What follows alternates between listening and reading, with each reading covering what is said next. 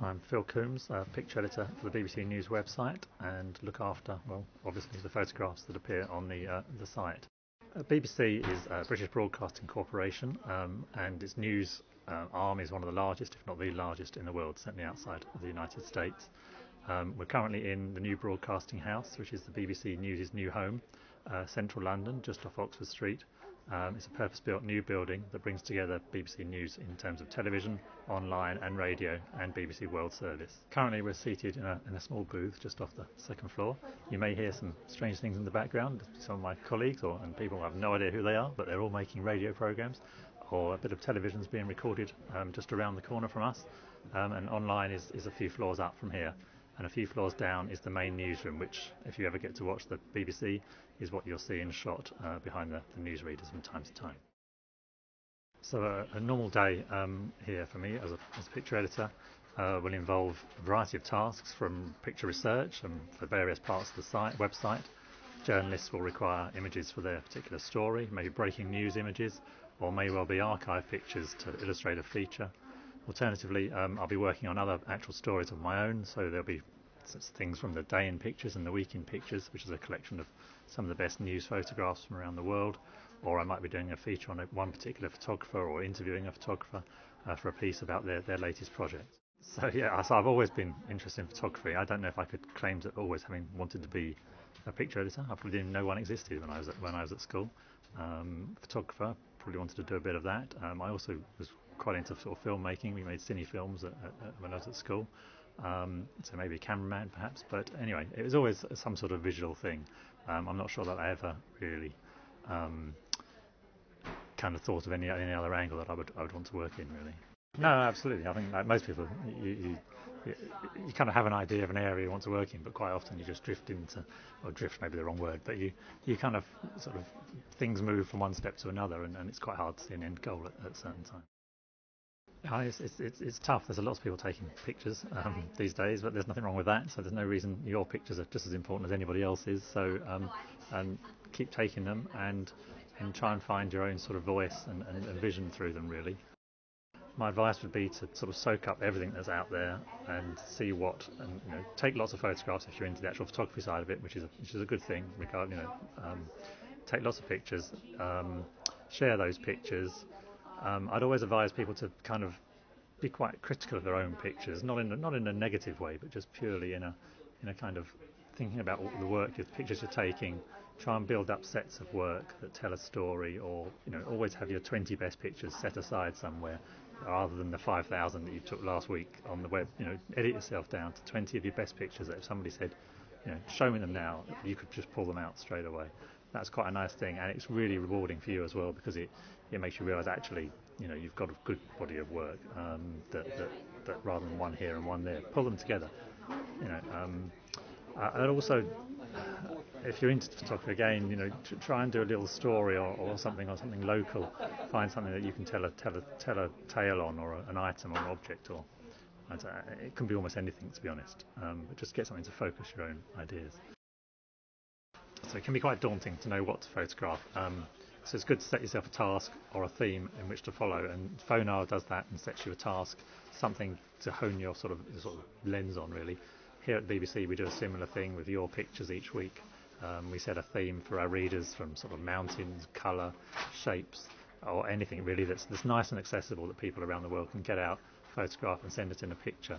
Um, and we get some fantastic images and, and, and it gives you a chance to really kind of focus your ideas um, and just rather than just wandering and taking pictures that, that catch your eye. So you know it's also important to remember that, that you know organisations are up for, for running, or certainly this organisation is up for running a um, series of pictures from, from people around the world who, who may have you know seen something that they think is, good to share. Um, and so when submitting pictures, it's it's worth you know packaging them up to sort of a dozen pictures or maybe two dozen pictures um, rather than sending a link to a website that's got 150 images. No one's just going to have the time to go through that. You know, really tightly edited it. And remember, one of the most important things is also the text that you send with it. We have to have an explanation. We don't know anything about what you're sending us. You have to tell us, you know, what it is, where it is, who it is. Get quotes from the people you're photographing. Bring the pictures to life. You know, we get sent, I get sent loads and loads of submissions of, you know, I've been to town X or re- remote place Y. Here are some great pictures. Yeah, they're great pictures, but you know, if I've only got one line of text to go with it, I just can't run it. Sure, I could do the research, but you know, you've been there.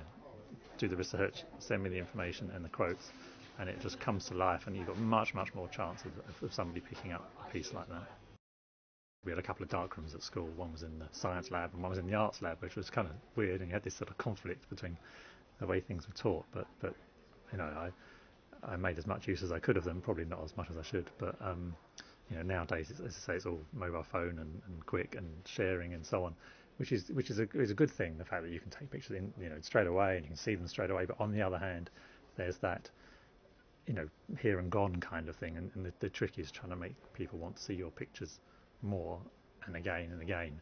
So, you know, if you've got a picture that you're proud of, you know, print it out. It doesn't have to be the best print in the world, but just print it out, stick it on your wall. You know, if you're still happy looking at it two weeks later, then it's possibly a good picture. Um, you know, on the other hand, you're fed up with it and you're tearing it off the wall after a day, and let it get, let it go, you know, let it go. And that's that's you know, go to move on to the next one. So I left school and, and, and went straight to work at the BBC. I've been here for kind of forever, really, um, and worked as a as a clerk in the in the Stills Library, um, filing pictures. Um, and you know that that was how I kind of got into it. And so I then I did go to, to, to do, I did do a degree degree in photography, um, but I did it as a part-time degree while working here. Um, but you know you don't need to. Um, you, you know pick up a camera or pick up a, a, a you know a, some sort of device that takes pictures. Really, um, you kind of need one of those somewhere on the line. Um, uh, but otherwise, you know, it's, it's about what the image says. You know, it doesn't it doesn't have to be technically perfect. You know, there's some great pictures out there that, that are that are out of focus, to be honest. And you know, focus is overrated, as they say.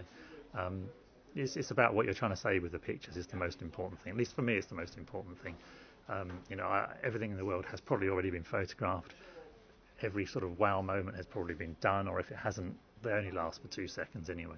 The best pictures are the much quieter images that speak to you from a longer, t- you know, longer term um, or they're a series of pictures that have something to say, or there's something that has a, some sort of social relevance.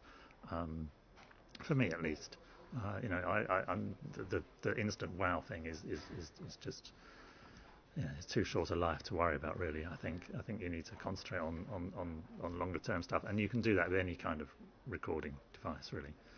Um, and uh, an approach approach stories differently. You know, if you're if you're going to yeah, if you're approaching something that's um, you know, and you're kitted out with all, you know, if you stand, if you're standing in a, in a line, there's loads of professional photographers standing next to you, then you're probably in the wrong place.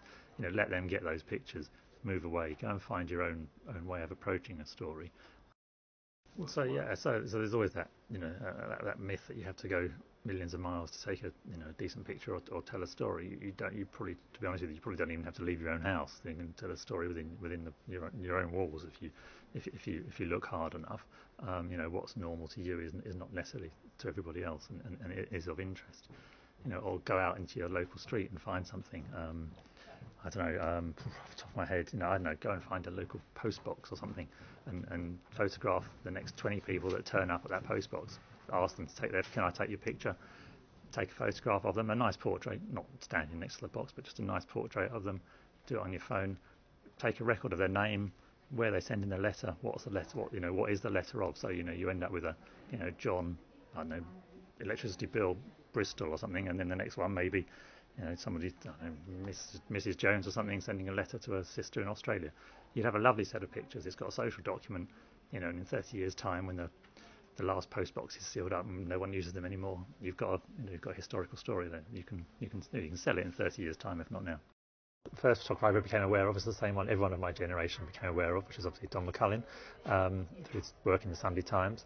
But you know, still a big admirer. Um, but once looking around, probably um, if I had to pick one, I'd go for Tony Ray Jones, somebody perhaps um, many have not heard of, but he did some fantastic work. Um, just, just sort of mind blowing, what we call street photography, I suppose these days.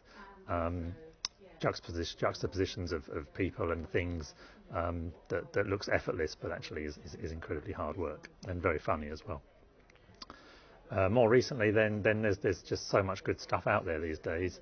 Um, I, I kind of like the idea of sort of photographic collectives, and, and there's one in Scotland called Document Scotland, uh, sort of four photographers who've got together um, and brought some fantastic work. Um, one of whom, Sophie Gerrard, um, has done some lovely stuff on, on sort of the dunes up in Scotland, um, and the development of a golf course up there, or the protest against the development of a golf course by, by Donald Trump um, up, up the, on the coast in Scotland. Um, really nice work, quiet pictures, but but once you get the, the context and the background behind them, they just they just really come to life. So another photographer that caught my eye, another one in Scotland, is Sarah Amy Fishlock, who just done a fantastic project on um, people being resettled in, in Glasgow. So the Iraqis who are working um, for the British government and forces in Iraq during the conflict, um, and then resettled in, in Glasgow. Um, so the subject's identity had been hidden and within these pictures, but nonetheless, although you can't see the faces, they're just really powerful pictures, very very quiet pictures, muted tones, um, but nonetheless they just they just draw you into the subject, and you really really want to know more about the people and about the project. And and it just shows a way that, that although initially you'd think you know I'm going to photograph something that can't show their face, can't show this, can't show that, but actually there are ways to do it, and and you just need to take your time and get in there, talk to people, and open doors. Uh, so best of luck to everybody uh, with Phonar Nation. I'm um, going to keep an eye on the project and seeing how it goes, and I'm hoping to meet one of you at the end of the course.